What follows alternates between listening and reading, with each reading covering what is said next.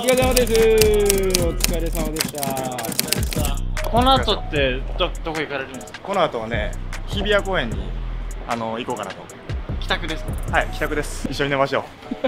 楽しみましょう。年齢いくつですか年齢は26ですね。何年生まれ？96年ですね。96年の26です。もともと出身どこなんですか出身は神戸です。もうもうすぐそこですよ信号渡れば入り口には入っていくんででも豪邸なんでちょっと奥の方まではいあちらでちょございます暗くて何も見えないんです。けど見えないです。見えないです。これもう皆さん寝てる時間です。もう寝てる時間ですよ。結構いるんですね。ここほら下平べったいしここで毎日寝てるんですよ。そうそう有楽町のとこやったら下に段ボール敷いてうん。上寝袋で寝るんですよ。ねそっちの方がホームレス感はあるかもしれない。これで。死ぬほど床硬くないですか？床硬いですよ。でもまだ上に比べるとボコボコ少ないから全然。マジですよ。林さんってなんでホームレスになったんですか？まあ、ホームレスは今その銀座のスナックで働いてるんですけど実はそのアフリカにもう移住することが決まってて。振りか？そうなんですよ。それがあってまあ日本で最後面白いことをしたいなっていうのでホームレスをすることになったって感じですね。朝の背負ってた段ボールの日数ってそういうことですか？そういうことですよ。これね。あと何日でしたっけ？あと48日なんですよ。48日後もアフリカ。そうなんですよ旅行じゃなくくて？旅行じゃなくてもう移住ですね。なんで移住するんですか？えっとね奥さんがザンビア人なんであすけど。結婚されてるんですね。そうなんですよ。でね、国際マッチングアプリで出会ったアフリカのザンビア人の方とはい初対面でザンビアに会いに行ってそのまま結婚したっていう感じです。国際マッチングアプリって何ですか？それみんな使えるんですか？使えます使えます。あのタップルとかペアーズ的な？はい。お金かかんないですね。やり取りはどうするんですか？その一応ザンビアって公用語は英語になってるんですけど僕英語を実は喋れんくってだからあの奥さんの言葉今でも8割9割何言ってるか分かってないんですよね。海外の彼女が欲しかったとかあったんですか？いやじゃなくてそのまあ二十歳の時にあのー初海外でタンザニアに行ったのがきっかけで、まあ、アフリカにハマったんですよね。友達を作るためにアフリカ人がやってるマッチングアプリを探したらそれが出てきたっていう感じね、最初友達作りだあだったんですからそうそうまずタンザニア行ったのはなんでだったんですか？その時は建築の専門学校に僕行ってたんですけどせっかく建築やってるし何か人のためにちょっとできひんかなっていうのを思ってボランティア聞いて電話して一番貧しい国どこですかって聞いてタンザニアかなって言われたからそこ行きますぐらいのほんま軽いノリで。現地って何されたんですか？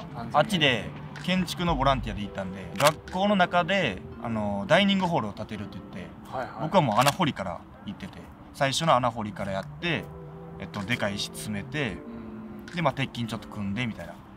その期間でアフリカにはまっちゃったんですか？ハマりましたね。もともとめっちゃ人見知りで。で友達同士とかでおるとお笑い担当とかいじられキャラとかスポーツが一番できるみたいな。みんな何かしらなんかその人の価値みたいなのがあって。でも自分にはその価値があんまり見出せてなかった。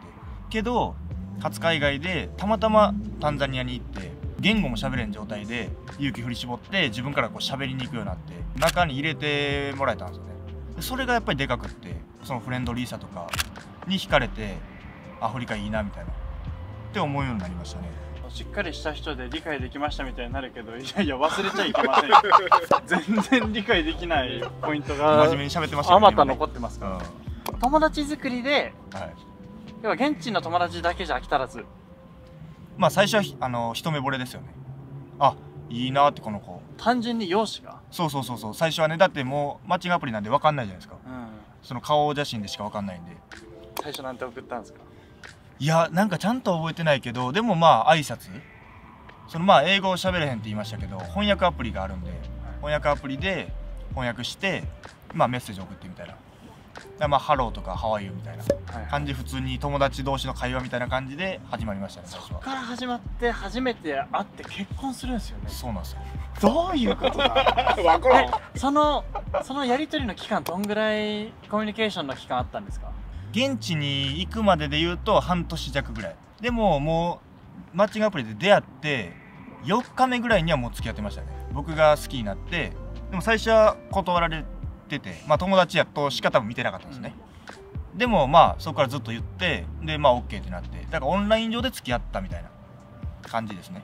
何きっかけで会いに行ったんですか？半年時間置いて。まああのザンビア行ったことなかった。でまあプラスあの付き合ってるから4月ぐらいとかに多分出会っててで10月ぐらいに会いに行くわっていう話をしてでも行く前に結婚しようっていうのは言っててでそのまま会いに行って結婚みたいな素敵だけどちょっとついていけないな。実際に会いに行って本物見てどうでした？あでも変わらずでしたね。可愛いなと思いましたまあ最初は見た目ですけどその後はまあその子の価値観優秀な子をやって深い話で言うと愛についてとかも話してたんですよ、まあ、全然もう何を言ってたか覚えてないんですけど。でも愛についてとか、まあ、子育て子供のことについてとかっていうのは喋ってましたねプロポーズとかもされたってことですか？プロポーズもそうですね。結婚指輪自分で手作りしてで持ってったんですよ、まあ、式はまだあげてないですけど役所で届けとか出す時にこうあげて。向こうも結婚っていう文化はそういうちゃんとプロポーズがあって両親への挨拶があってっていう感じなんですか？ほんまは向こうのおじさんとうん。僕のおじさんとが話をしてまあ結納金ですよね。うん。僕がお金払うんですけどこれはまあ部族によっても違うくって、うん。まあ、牛をあげたりとかマサイ族ね有名な牛をあげたりあるけど僕の奥さんのところはそうやっておじさんたちが話してその金額を決めるっていう。でその金額もその女性の価値によって金額が決まるんですよへ学歴とか家柄とかのによって金額が決まるんですけど僕はもう一人で行ってるんでおじさんとかいないから話できないですよね。で僕も英語喋れへんしだから向こうのおじいちゃんおばあちゃんおじさんでお母さんほんでお母さんの妹とかがこう集合して全員で喋ってて。で最初、まあ、日本円で20万って言われたんですよ、はい。高すぎて。だって日本でのこの生活は知ってるんですか？いや知らないですよね。まあ SNS のストーリーとかで見てるとは思いますけど。でも何も言ってはきてないですよね。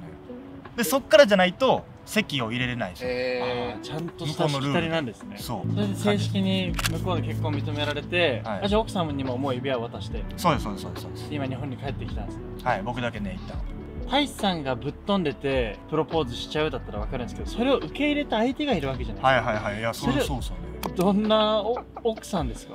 奥さんの方が僕より真面目でなんて言ったらいいかな。僕の方が自由な感じなんですよね。どこに惚れたんですか？なんなんやろね。僕まだ1回しか会ったことないんで。そっか。確認ですけどマジで愛してるんですよねマジで愛しますよそれじゃないとまあタトゥーも入れへんしさすがにね、ちょっと愛します。面白い人だ笑ってるよ本当に。笑ってるよなんか。笑ってるよ笑ってるよ。奥さんの名前なんて言うんですか？奥さんの名前レラトですね。レラット。レラト。これが奥さんの名前で結婚して帰ってきてで日本で入れましたあこれ日本で入れたんですね、はいこれは日本で。手手のやつも全部？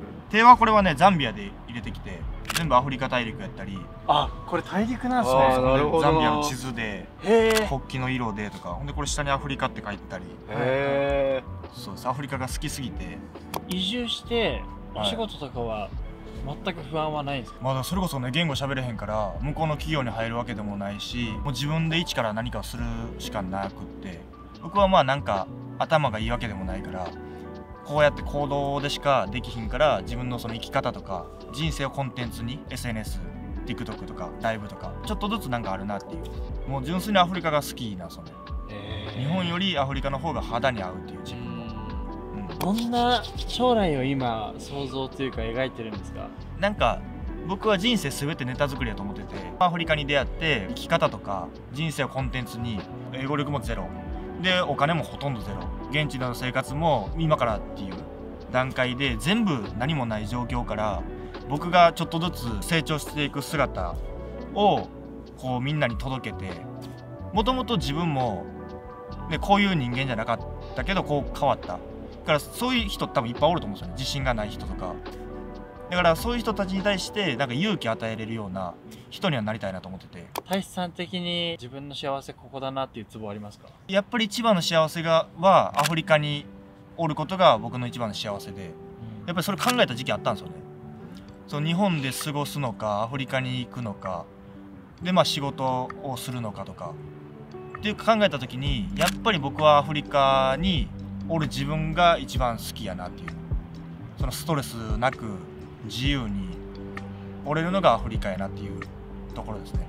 幸せになるために多分生まれてきてると思ってて。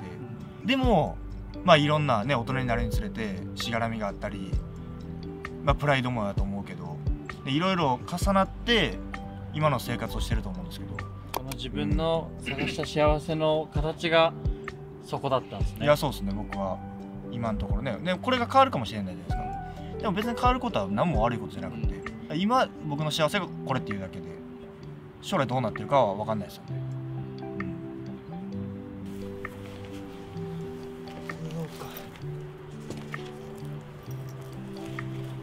で物取られへんようにこうやってね。そして。それじゃあ皆さんおやすみなさい。おやすみなさい。またね